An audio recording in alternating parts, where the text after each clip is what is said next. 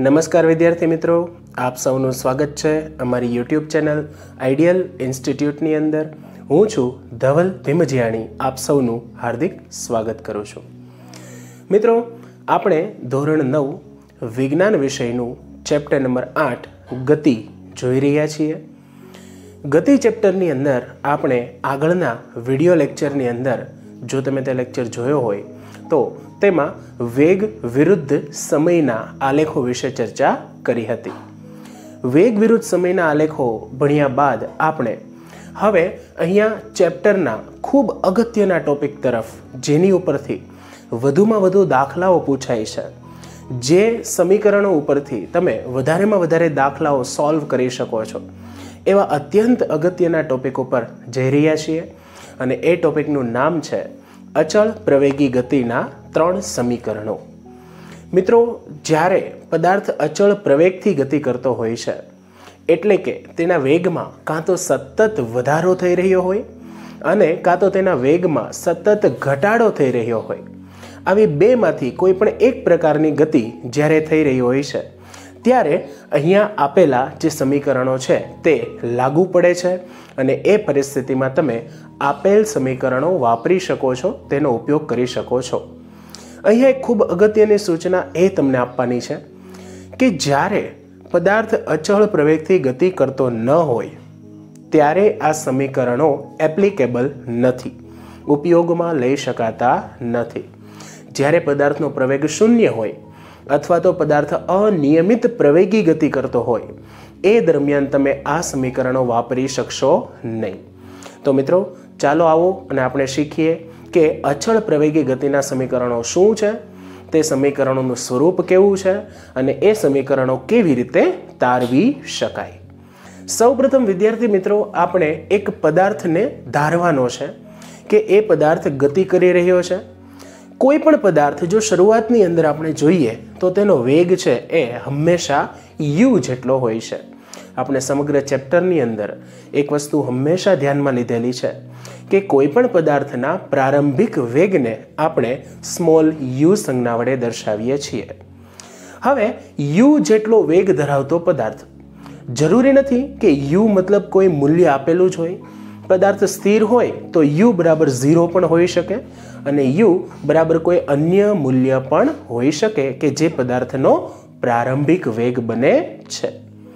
તો યુ જેટલો પ્રારંભિક વેગ ધરાવતો એક પદાર્થ ટી જેટલા સમયગાળામાં ટી ફોર ટાઈમ તો ટી જેટલા સમયગાળાની અંદર તે વી જેટલો વેગ પ્રાપ્ત કરે છે. હવે અહીંયા વી એટલે શું? તો કે વી એટલે પદાર્થનો અંતિમ વેગ.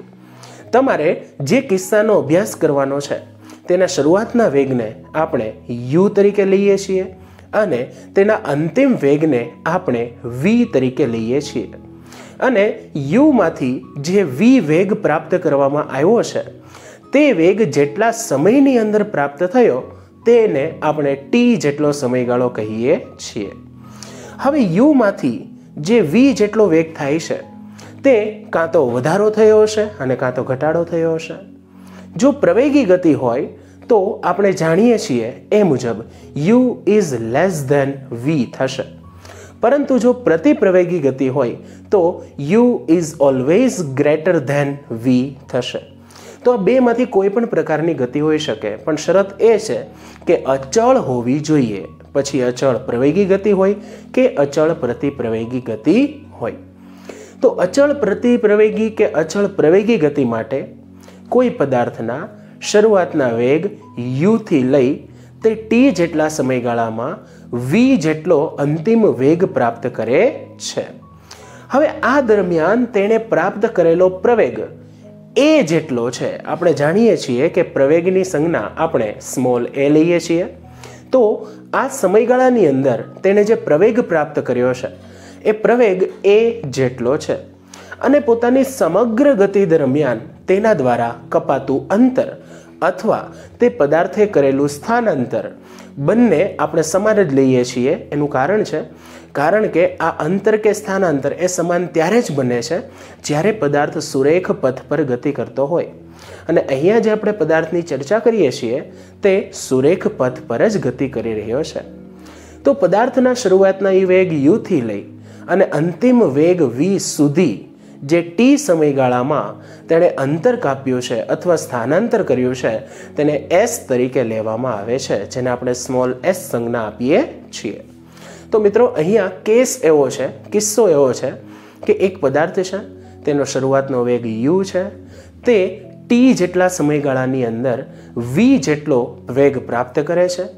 આ દરમિયાન ટી સમયગાળામાં તેના દ્વારા ઉદ્ભવતો પ્રવેગ એ એ જેટલો છે અને આ ટી જેટલા સમયગાળામાં પદાર્થે પોતાની સમગ્ર ગતિ દરમિયાન કાપેલું અંતર એસ જેટલું છે.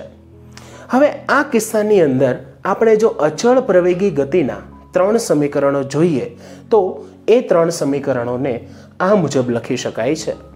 અહીંયા ત્રણ સમીકરણો આપ્યા છે. ત્રણે ત્રણ સમીકરણો મિત્રો આજે જ અત્યારે જ ખૂબ સરસ રીતના મગજમાં રાખજો, યાદ રાખજો, પાકા કરજો. કારણ કે આ ત્રણે ત્રણ સમીકરણો તમારે ડગલે અને પગલે ફિઝિક્સની અંદર, પછી એ ગતિ ચેપ્ટર હોય કે પછી બળ અને ગતિના નિયમો હોય, ઇવન ગુરુત્વાકર્ષણ ચેપ્ટરમાં પણ તમારે આ કામ આવવાના છે. તો આ ત્રણ સમીકરણો મિત્રો ક્યારેય ન ભૂલશો. તો ચાલો આપણે જોઈએ એ અચળ પ્રવેગી ગતિના ત્રણ સમીકરણો. સૌ પ્રથમ સમીકરણ છે v is equal to u plus a t આ સમીકરણની તારવણી, ત્રણે ત્રણ સમીકરણની તારવણી આપણે શીખવાના છીએ હમણાં જ. પરંતુ અત્યારે માત્ર એ ત્રણે ત્રણ સમીકરણના ગાણિતિક સ્વરૂપો આપણે જોઈએ છીએ. અહીંયા વી એટલે શું છે? તો કે કે અંતિમ વેગ યુ એટલે પદાર્થનો પ્રારંભિક વેગ એ એટલે કે પદાર્થે પ્રાપ્ત કરેલો પ્રવેગ, અને ટી એટલે એ માટે લાગતો સમયગાળો. જો તમને આ ચાર રાશિઓમાંથી કોઈ પણ એક રાશિ શોધવાનું કહે અને બાકીની ત્રણ ભૌતિક રાશિઓ આપેલી હોય તો તમે ચોથી ભૌતિક રાશિ છે તે શોધી શકો છો. ઉદાહરણ તરીકે તમને શરૂઆતનો વેગ યુ આપી દેવામાં આવે, પ્રવેગ એ આપી દેવામાં આવે અને સમય ટી આપી દેવામાં આવે તો તમે અંતિમ વેગ વી શોધી શકો છો. મિત્રો, આ તો એકમાત્ર ઉદાહરણ થયું. પણ ચારમાંથી તમને આવી કોઈ પણ ત્રણ રાશિઓ છે એના મૂલ્યો આપી શકે અને ચોથી રાશિનું મૂલ્ય છે તે માગી શકે છે. એ રકમ પર આધારિત છે કે તમને શું આપવામાં આવ્યું છે અને શું માગવામાં આવ્યું છે. બીજું સમીકરણ ખૂબ અગત્યનું સમીકરણ છે. S is equal to u t plus half a t square જ્યાં એસ જે હમણાં આપણે ચર્ચા કરી, એ મુજબ પદાર્થે કાપેલું અંતર અથવા પદાર્થે કરેલું સ્થાનાંતર છે. સ્થાનાંતર ત્યારે જ્યારે પદાર્થ સુરેખ પથ પર ગતિ કરતો હોય ત્યારે. ત્યારબાદ યુ એટલે આપણે જાણીએ છીએ પ્રારંભિક વેગ. ટી એટલે કે આ વેગ પ્રાપ્ત કરવા માટે લાગતો સમયગાળો. ત્યારબાદ વન બાય ટુ આ અંક છે.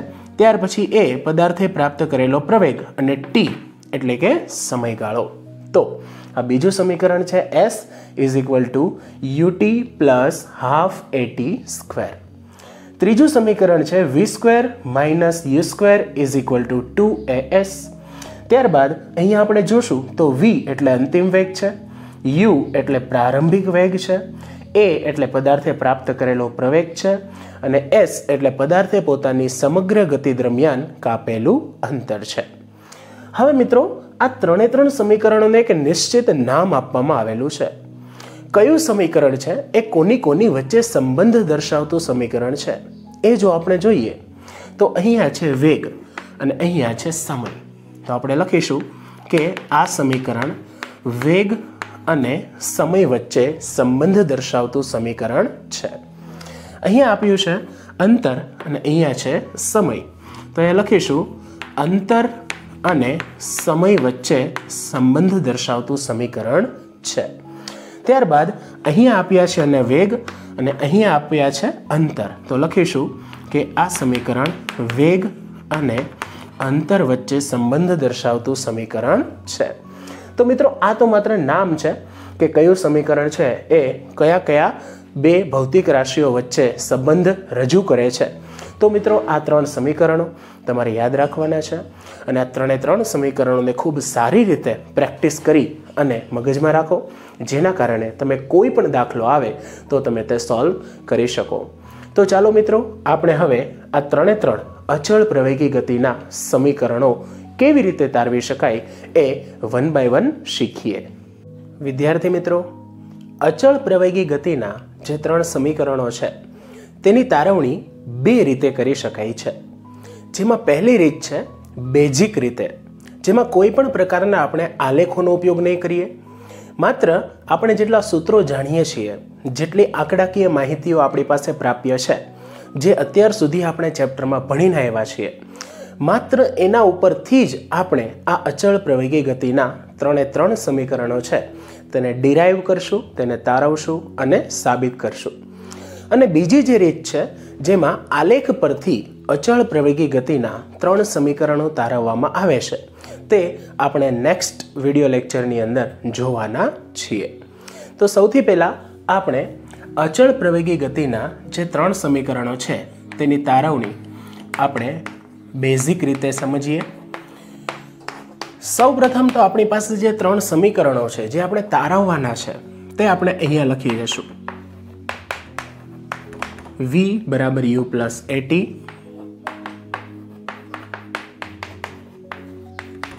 s બરાબર u t plus half a t square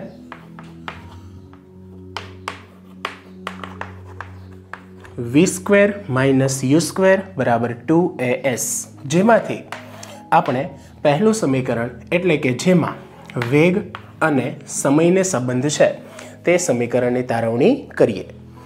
સૌપ્રથમ આ સમીકરણ તારવવા માટે આપણે પ્રવેગનું સૂત્ર લખીએ. મિત્રો, પ્રવેગનું સૂત્ર શું છે? આપણે જે પ્રવેગ ભણ્યા ત્યારે આવ્યું હતું. A is equal to v minus યુના છેદમાં ટી એ એટલે કે પ્રવેગ વી એટલે પદાર્થનો અંતિમ વેગ યુ એટલે પદાર્થનો પ્રારંભિક વેગ અને ટી એટલે કે સમગ્ર ગતિ દરમિયાન પદાર્થે લીધેલ સમય. હવે તમે જો આ સમીકરણ જોશો, તો આને આપણે થોડોક ઉલેટફેર કરવો છે.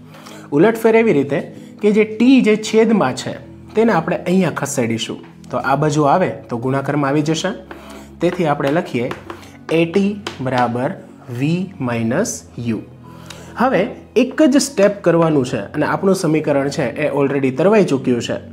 અહીંયા જે માઇનસ યુ છે, એને ડાબી બાજુ લેશું તો તે પ્લસ યુ થશે. તેથી લખી શકાય યુ પ્લસ એટી બરાબર વી હવે જો જે વી છે એને હું ડાબી બાજુ લખું ને યુ પ્લસ એટીને જમણી બાજુ લખું, તો આ રીતે લખી શકાય. વી બરાબર યુ પ્લસ એટી મિત્રો, તમે જોઈ શકો છો કે જે પહેલું અચળ પ્રવેગી ગતિનું સમીકરણ છે, જેમાં વેગ અને સમયને સંબંધ છે, તે અહીંયા તરવાઈ ચૂક્યું છે. મિત્રો, ખૂબ સરળ સમીકરણ છે. આનાથી સહેલી તારવણી ત્રણમાંથી અન્ય કોઈ સમીકરણની નથી. અહીંયા મારે તમને એક સાથે સાથે વસ્તુ કહેવી છે કે ઘણી વખત એવો પણ પ્રશ્ન પૂછાઈ જાય છે કે વેગ અને સમય વચ્ચે શું સંબંધ છે? આ પ્રશ્નનો જવાબ મોટાભાગના વિદ્યાર્થીઓ નથી આપી શકતા. તેનું કારણ છે, કારણ કે ફિઝિક્સ એ એક એવી વસ્તુ છે, એવો વિષય છે કે જેમાં તમારું મગજ છે એને ખૂબ સક્રિયપણે તમારે ચલાવવું પડે છે. અને તમે જે કંઈ પણ ખ્યાલો ભણ્યા હો, જે કંઈ પણ વ્યાખ્યાઓ સૂત્રો સમજ્યા હો એ સૂત્રોનો, એ વ્યાખ્યાઓનો અને એ માહિતીનો યોગ્ય સ્થાને, યોગ્ય સમયે અને યોગ્ય રીતે ઉપયોગ કરવો પડે છે. અહીંયા આપણને પ્રશ્ન એવો પૂછવામાં આવ્યો છે કે વેગ અને સમય વચ્ચે શું સંબંધ છે? તો અચળ પ્રવેગી ગતિ કરતા પદાર્થ માટે વેગ અને સમય વચ્ચે સમપ્રમાણનો સંબંધ છે. હવે સમપ્રમાણનો સંબંધ કેવી રીતે? તો અહીંયા આપણે જો જોઈએ તો અંતિમ વેગ વી એ બરાબરની ડાબી બાજુએ છે અને સમય છે તે બરાબરની જમણી બાજુએ છે. હવે જો ધારણા કરવામાં આવે કે પ્રારંભિક વેગ યુ બરાબર ઝીરો હોય તો અહીંયા જો તમે યુ બરાબર ઝીરો મૂકશો તો સમીકરણ મળશે વી બરાબર એટી. હવે આપણે કયા સમીકરણો તારવીએ તારવીએ છીએ અત્યારે? તો કે કે અચળ પ્રવેગી ગતિના. તો એ એટલે કે પ્રવેગ કેવો છે? તો કે અચળ છે. એ જો અચળ હોય, પ્રવેગ જો અચળ હોય, તો એવું લખી શકાય વી ચલે છે ટી અને જો વી ચલે છે ટી હોય, તો સરળતાથી સાબિત થઈ શકે કે વેગ અને સમય સમપ્રમાણમાં હોય છે. પરંતુ ત્યારે જ સમપ્રમાણમાં હોય છે કે જ્યારે પ્રારંભિક વેગ શૂન્ય હોય અને આ ગતિ કયા પ્રકારની હોય? અચળ પ્રવેગી ગતિ હોય તો. બરાબર છે મિત્રો? તો આ રીતે તમે જોઈ શકો છો કે વેગ અને સમય બંને એક સમાન રીતના વધે છે કે એક સમાન રીતે ઘટે છે. હવે આપણે સમપ્રમાણ અને વ્યસ્ત પ્રમાણ કોને કહેવાય? તે વિશેની માહિતી ફિઝિક્સના જે બેઝિક્સનો લેક્ચર છે તેમાં ઓલરેડી મેળવી ચૂક્યા છીએ.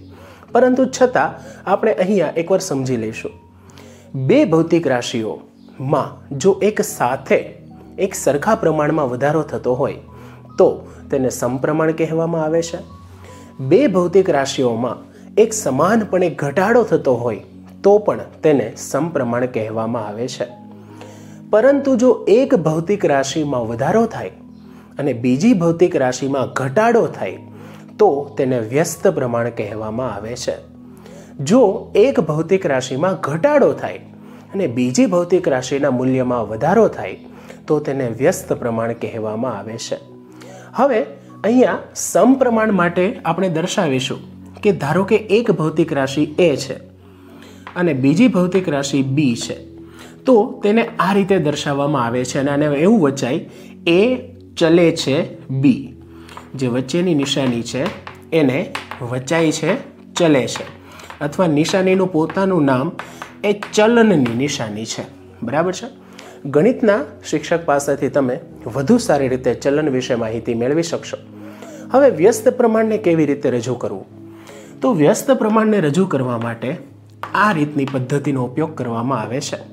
તમે જુઓ, તો એની સામે બી છે એ વ્યસ્ત છે, એટલે કે છેદમાં છે. જો એ નામની ભૌતિક રાશિ વધશે તો બી નામની ભૌતિક રાશિ ઘટશે. જો એ નામની ભૌતિક રાશિમાં ઘટાડો થશે, તો બી નામની ભૌતિક રાશિ છે તેમાં વધારો થશે. પરંતુ જો એ અને બી સમપ્રમાણમાં હોય, તો સમપ્રમાણ માટે જો એ વધે, તો બી પણ વધે છે. અને જો એ ભૌતિક રાશિના મૂલ્યમાં ઘટાડો આવે, તો બી ભૌતિક રાશિનું મૂલ્ય પણ ઘટે છે. તો આ રીત છે મિત્રો સમપ્રમાણ દર્શાવવા માટેની. અને આ રીત છે મિત્રો વ્યસ્ત પ્રમાણ દર્શાવવા માટેની. હવે અહીંયાથી તમને એવો પ્રશ્ન થતો હશે કે વી બરાબર એટી છે, એમાંથી વી ચલે છે ટી કેમ આવ્યું? તો મિત્રો હંમેશા યાદ રાખો, અહીંયા વી બરાબર એટી આપણે લીધું છે, ત્યારબાદ આપણે જે વી ચલે છે ટી લખ્યું, ત્યારે એક વસ્તુ આપણી પાસે શરત હતી કે એ શું છે? તો કે અચળ છે. જ્યારે તમારે આ ચલનની નિશાની લખવી હોય, ત્યારે તમારે હંમેશા આ બે વસ્તુ જરૂરી બને છે. તમારી પાસે બરાબરની નિશાની હોવી જોઈએ અને એક અચળ અંક હોવો જોઈએ, અચળાંક હોવો જોઈએ. અહીંયા બરાબરની નિશાની પણ છે અને એ નામનો અચળાંક પણ છે. તો અચળાંક અને બરાબરની જગ્યાએ તમે ચલનની નિશાની મૂકી શકો છો. ધારો કે આપણે એક બીજું ઉદાહરણ લઈએ. એ ચલે છે બી. તો હવે મારે ચલન દૂર કરવું હોય તો શું કરવું પડશે? તો અહીંયા ચલન દૂર કરવા માટે એ ચલન કોની જગ્યાએ આવે છે મિત્રો? બરાબર અને અચળાંક. તો હું બરાબર મૂકીશ. અને અહીંયા બીજી બાજુ કઈ રાશિ છે? તો કે બી નામની રાશિ છે. ચલન છે એમાં બે વસ્તુ હોય છે. શું? એક બરાબર અને એક અચળાંક. હવે આપણે બરાબર તો મૂકી દીધું છે, પરંતુ અચળાંક કેવી રીતે મૂકીશું? ધારી લઈએ કે અહીંયા જે અચળાંક છે તે કે છે. તો અહીંયા લખી નાખીશું. અચળાંક શું છે? તો કે કે કે ઓકે તો આ રીતે ચલનમાંથી તમે આ પ્રકારે પણ ફેરફાર કરી શકો. અને જ્યારે તમારી પાસે બરાબર અને અચળાંક હોય, ત્યારે તમે ફરીથી ચલનની નિશાની પણ મૂકી શકો છો.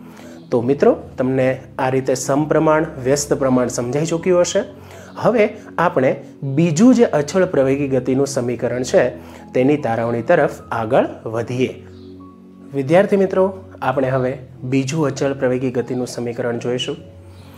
સમીકરણ છે s is equal to u t plus half a t square આપણે આ સમીકરણની તારવણી કરવાની છે. સૌ પ્રથમ વસ્તુ મિત્રો એ છે કે અહીંયા આપણી પાસે એક આગળ જે ટોપિક આવ્યો હતો સરેરાશ વેગ, તેની વિશે આપણને માહિતી હોવી જોઈએ. જો તમે સરેરાશ વેગ વિશે નથી જાણતા, તો આ સમીકરણ આપણે તારવી ન શકીએ.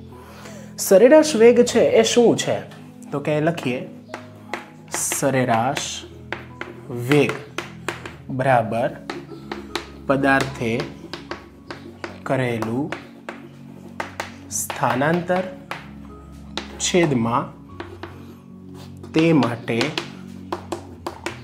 પદાર્થે લીધેલ સમય. આ સરેરાશ વેગનું ખૂબ સાદું સૂત્ર છે, જે આપણે જાણતા જ હોઈએ છીએ. આ સૂત્ર છે, એમના ઉપરથી આપણે અચળ પ્રવેગી ગતિનું જે બીજું સમીકરણ છે, તેની તારવણી કરવાના છીએ. હવે આ સમીકરણને જો મારે થોડું અલગ રીતે લખવું હોય, અને અહીંયા પદાર્થે કરેલું સ્થાનાંતરને સૂત્રનો કરતા બનાવવો હોય તો તે માટે પદાર્થે લીધેલ સમય છે તેને મારે બરાબરની આ બાજુ સરેરાશ વેગ સાથે ગુણાકારમાં લેવું પડે. તો હું લખીશ હવે કે પદાર્થે કરેલું સ્થાનાંતર બરાબર. શું થશે? તો કે આ બંને રાશિઓનો ગુણાકાર સરેરાશ વેગ ગુણ્યા પદાર્થે તે માટે લીધેલ સમય. હવે જો અહીંયા પદાર્થે કરેલા સ્થાનાંતરની સંજ્ઞા વિશે જો વિચારીએ, તો સ્થાનાંતરની સંજ્ઞા હંમેશા એસ લેવામાં આવે છે. પદાર્થનો સરેરાશ વેગ વી એવરેજ ગુણ્યા તે માટે લાગતો સમય, એટલે કે ટી લેવામાં આવે છે.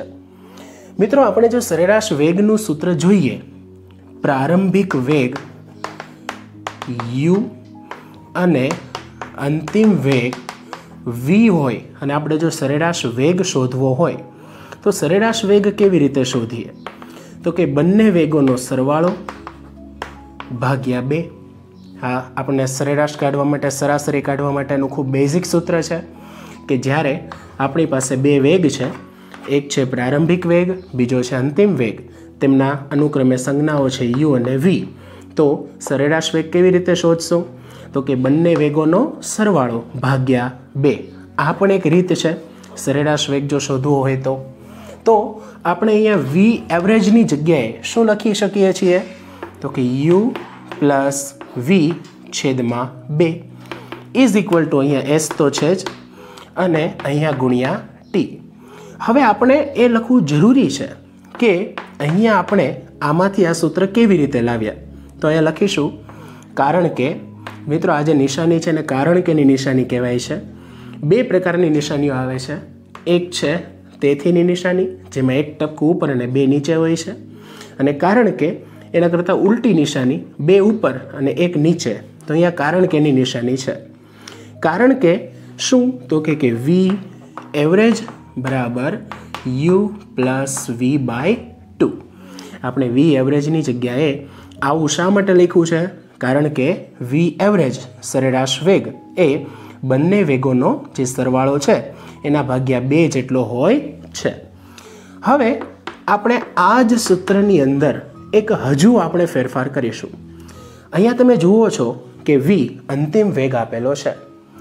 અંતિમ વેગ માટેનું એક અચળ પ્રવેગી ગતિનું સમીકરણ હમણાં જ આપણે પહેલાં જોઈ ગયા, જેમાં વી બરાબર શું આવે છે? તો કે યુ પ્લસ એટી તેથી આપણે લખીશું યુ પ્લસ. આપણે વીની જગ્યાએ શું લખવાનું છે? યુ પ્લસ એટી આખાના છેદમાં બે ગુણાકારમાં ટી. હવે અહીંયા આપણે આવું શા માટે કર્યું? કારણ કે વી એટલે શું થાય છે? યુ પ્લસ એટી થાય છે. તો આપણે અહીંયા વીની જગ્યાએ આ કિંમત છે તે અચળ પ્રવેગી ગતિના સમીકરણ નંબર એક ઉપરથી મૂકી દીધી. હવે આપણે આગળ થોડું સાદરૂપ આપીએ. તો એસ બરાબર. હવે જો કાઉન્સ છોડશો, તો યુ વત્તા યુ, એટલે કે ટુ યુ થશે. પ્લસ એ ગુણ્યા ટી, એટલે કે એ ટી થશે. છેદમાં આવશે બે, અને ગુણાકારમાં છે ટી. હવે જે ટી જે ગુણાકારમાં છે, એ સમગ્ર સમીકરણ સાથે ગુણાય. સમગ્ર આગળનો જે કાઉન્સ છે, તેની સાથે ગુણાશે. તેથી આપણે લખી શકીએ એસ બરાબર. જો ટુ યુની સાથે ટી ગુણાય, તો લખી શકાય two u t plus a ટીની સાથે ટી ગુણાય, તો એ તો એક જ વખત છે. પણ ટી ગુણ્યા ટી એટલે થશે ટીનો સ્ક્વેર. અને છેદમાં, આખાના છેદમાં આવશે બે. હવે આપણે આ જે બંને પદ છે એને સેપરેટ છેદ આપી દઈશું અને લખીશું એસ બરાબર ટુ યુ ટીના છેદમાં બે વત્તા એ ટી સ્ક્વેરના છેદમાં બે. આ પદની અંદર બે બે કેન્સલ થઈ જશે. તેથી લખી શકાય એસ બરાબર યુટી પ્લસ હવે છેદમાં બે છે, એને થોડા આગળ લઈએ. તો વન બાય ટુ લખી શકાશે. અને અહીંયા પાછળ વધે છે એટી સ્ક્વેર તો મિત્રો, આ છે આપણું અચળ પ્રવેગી ગતિનું બીજું સમીકરણ. બરાબર છે? તો આ રીતે તમે એની તારવણી કરી શકો છો. આપણે આખા સમીકરણની ફરી વખત રિવિઝન કરી અને તારવણી કરી અને ચેક કરીએ. સૌપ્રથમ આપણે સરેરાશ વેગ વિશે જાણતા હોવા જોઈએ. સરેરાશ વેગ કોને કહેવાય? તો કે પદાર્થે કરેલું સ્થાનાંતર છેદમાં તે માટે પદાર્થે લીધેલ સમય. અહીંયા આપણે આ સૂત્રમાં કરતા કોને બનાવીએ છીએ. સ્થાનાંતરને. તેથી લખેલું છે, પદાર્થે કરેલું સ્થાનાંતર બરાબર સરેરાશ વેગ ગુણ્યા તે વેગ પ્રાપ્ત કરવા માટે લીધેલ સમય. હવે, અહીંયા સ્થાનાંતરની સંજ્ઞા આપણે શું લઈએ છીએ? એસ સરેરાશ વેગની સંજ્ઞા શું લઈ લઈએ છીએ? વી એવરેજ અને સમય માટેની સંજ્ઞા આપણે શું લઈએ છીએ? ટી હવે એસનું એસ એમનેમ વી એવરેજ કેવી રીતના નક્કી કરી શકાય? તો આપણી સમગ્ર ચર્ચામાં આપણી પાસે બે વેગ છે. એક છે પ્રારંભિક વેગ યુ બીજો છે અંતિમ વેગ વી બંને વેગોની સરેરાશ કેમ કાઢી શકાય? તો કે બંને વેગોનો સરવાળો અને છેદમાં કુલ વેગની સંખ્યા. તો વેગ આપણી પાસે બે છે, માટે છેદમાં આવશે બે, અને યુ અને વી બંનેનો સરવાળો. તો અહીંયા આપણે વી એવરેજની જગ્યાએ શું લખીએ છીએ? યુ પ્લસ વીના છેદમાં બે. તેથી વીની જગ્યાએ આપણે લખીશું યુ પ્લસ વીના છેદમાં બે. તો વી એવરેજ એની જગ્યાએ આપણે કિંમત મૂકી દીધી. હવે વી બરાબર શું થાય? તો કે અચળ પ્રવેગી ગતિનું જે પહેલું સમીકરણ છે, એ મુજબ વી બરાબર શું આવશે? યુ પ્લસ એટી આવશે. બાકીની તમામ વસ્તુઓ એમની એમ. એસના એસ એમના એમ બેના બે નીચે એમના એમ ટી અહીંયા ગુણાકારમાં. અને યુ પોતાના સ્થાને. હવે યુ વત્તા યુ એટલે કે થશે ટુ યુ. ગુણ્યા એ ટી જે છે એ અહીંયા રહેશે. વચ્ચે નિશાની પ્લસની હતી એમને એમ.